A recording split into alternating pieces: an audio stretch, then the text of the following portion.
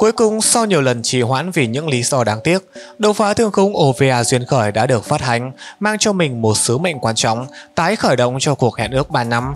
Từ trước khi duyên khởi được ra mắt, đột phá thương khung đã đứng trước hai luồng ý kiến đối lập. Một bên thì khen nức nở, cho rằng đột phá thương khung là một trong những bộ phim hoạt hình Trung Quốc hay nhất từng được làm ra.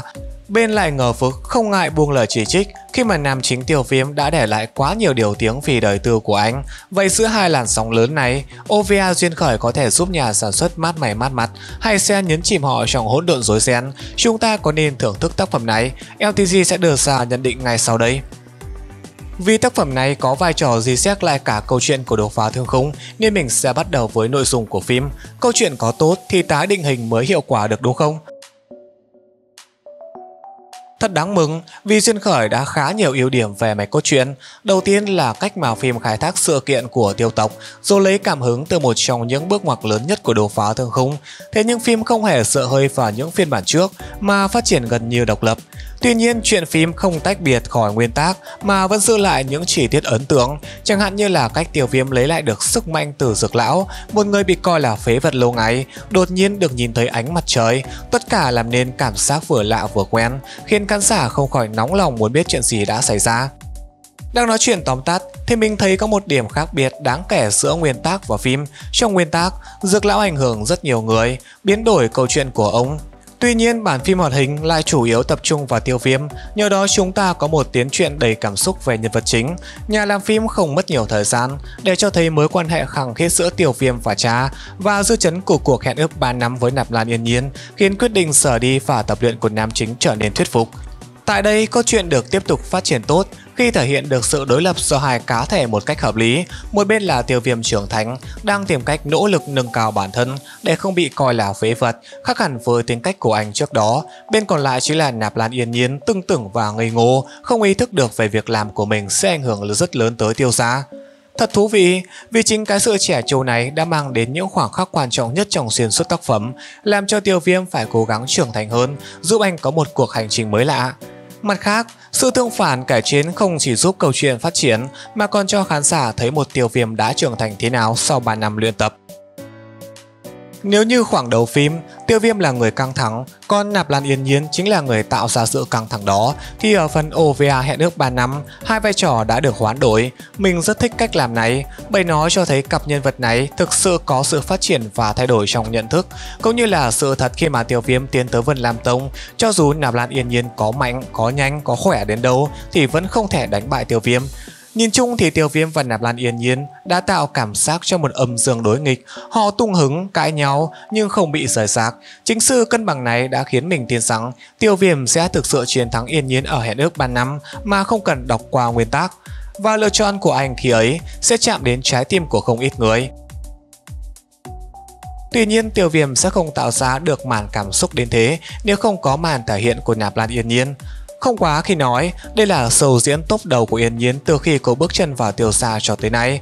Những tương tác của cô nàng với Huân Nhi cũng được thể hiện mượt mà dễ dàng thu hút sự chú ý, cũng như là dẫn dắt cảm xúc của khán giả. Cô nàng làm tốt đến mức câu nói 30 năm Hà Đông, 30 năm Hà Tây, đừng khinh thiếu niên nghèo của tiêu phim đã hoàn toàn làm nên tên tuổi cho đấu phá. Nhân tiện, không chỉ Tiêu Viêm và Nạp Lan Yên Nhiên dẫn dắt cảm xúc tốt đâu, chúng ta còn cả Tiêu Chiến cha của Tiêu Viêm và cả Dược Lão nữa. Tiêu Chiến thì hết mình vì con, sợ con bị tổn thương, Dược Lão thì coi Tiêu Viêm không khác gì con của mình, dồn hết tài nguyên giúp cậu tu luyện. Những thông tin của Dược Lão nói với tiêu viêm cực kỳ ngắn gọn, đi vào trọng tâm, đã vậy còn thêm yếu tố thực quan nên khá là dễ để tiêu hóa.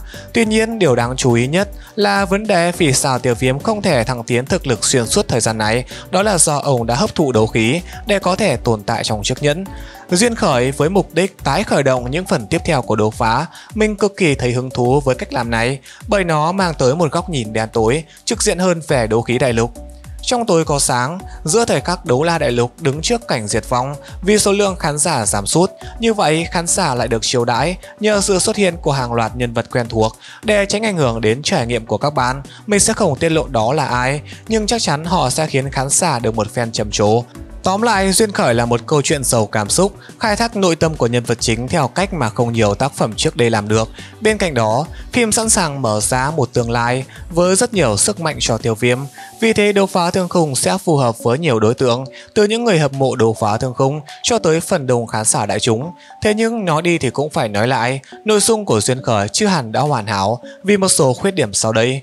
Điểm trừ thứ nhất nằm ở phía nhân vật phụ, cụ thể là những kẻ tới tiêu xa tấn công vì phải san sẻ thời lượng với tuyển truyện chính của đột phá thương khung mà câu chuyện của những người muốn thâu tóm tiêu xa chưa được khai thác triệt để, có chuyện phải đi quá nhanh. Ví dụ chúng ta không được thấy quá khứ của dược lão và mẹ của tiêu viêm ra sao. Vì thế, những biến chuyển về mặt cảm xúc của tiêu viêm sẽ có phần bị hững với những khán giả chưa biết nhiều về thế giới đột phá. Huân Nhi cũng rơi vào trường hợp tương tự, những thông tin về cô chỉ có trong giai đoạn thoại ngắn ngủi, khiến những phân cảnh bộc lộ cảm xúc không thể đạt được hiệu quả cao. Tiêu chiến cũng mờ nhạt, với thời lượng xuất hiện cực ít, thế nhưng mình nghĩ vấn đề này sẽ không quá ảnh hưởng đến trải nghiệm xem phim, bởi suy cho cùng, họ không phải là nhân vật chính, cũng không phải là người có xung đột cốt lõi với tiêu viêm. Ở trong duyên khởi, nhân vật chính là Dược Lão và Tiêu Viêm, xem cách mà nhà sản xuất giải quyết, giống như bạn ngồi trên tàu lượn đến đỉnh cao nhất, xong rồi kiểu bùm mất điện và bạn bị treo lơ lửng ở trên không vậy. Dù sao thì những vấn đề kể trên không thể làm lù mờ sự thật rằng Duyên Khởi có phần nội dung triển chu, phim cân bằng nhiều yếu tố, từ gia đình hài hước cho tới hành động, đưa khán giả lên một chuyến tàu lượn cảm xúc và hưởng thụ. Thế nhưng chỉ câu chuyện thôi là chưa đủ để làm nên một dự án thành công. Chúng ta còn phần hình ảnh nữa, vậy Duyên Khởi đã thể hiện ra sao ở khía cạnh này? Mặc dù phim đã bị vùi dập không thường tiếc về mặt thị giác, thì không thể nào phủ nhận một số điểm sáng, đáng kể nhất phải là Huân Nhi. Cô nàng không chỉ có những cầu thoại cực ngầu mà đến lúc cần thể hiện sự dịu dàng cũng rất tốt. Thậm chí là trong một vài thời điểm, Huân Nhi còn tỏa sáng hơn cả tiêu viêm. Ở chiều hướng tương tự, tiêu viêm cũng có dịp thể hiện năng lực của mình, mặc dù có một phần giúp đỡ của dược lão. Đáng tiếc thay, điểm mạnh của duyên khởi chỉ mạnh ở những chỗ đó thôi, còn vấn đề thì chắc chắn chúng ta phải lấy cả rổ ra mà đứng. Tóm lại, với những khán giả kỳ vọng vào một tác phẩm cháy nổ đã mắt đấm nhau long trời nở đất thì Diên Khởi sẽ khá là khó thưởng thức vì những cuộc đại chiến dường như xuất hiện không nhiều. Còn với những ai quan tâm nhiều hơn đến câu chuyện, đặc biệt là cuộc đời của Tiêu Viêm và tương lai của đột phá thương khung thì Diên Khởi là một dự án thực sự chỉn chu. Phim đã thể hiện được những góc khuất trong tác phẩm và mở ra một tương lai với rất nhiều khả năng cho cả thương hiệu đột phá thương khung. Tất cả những yếu tố kể trên tạo nên một cốt truyện giàu cảm xúc và đáng suy ngẫm Suy cho cùng, một bộ phận khán giả cho rằng Duyên Khởi là một trong những phần hay nhất của đấu phá thương khung mà họ đã từng xem. Vậy các bạn nghĩ sao về điều này? Đừng quên để lại ý kiến cá nhân của mình ở dưới phần bình luận của video này nhé.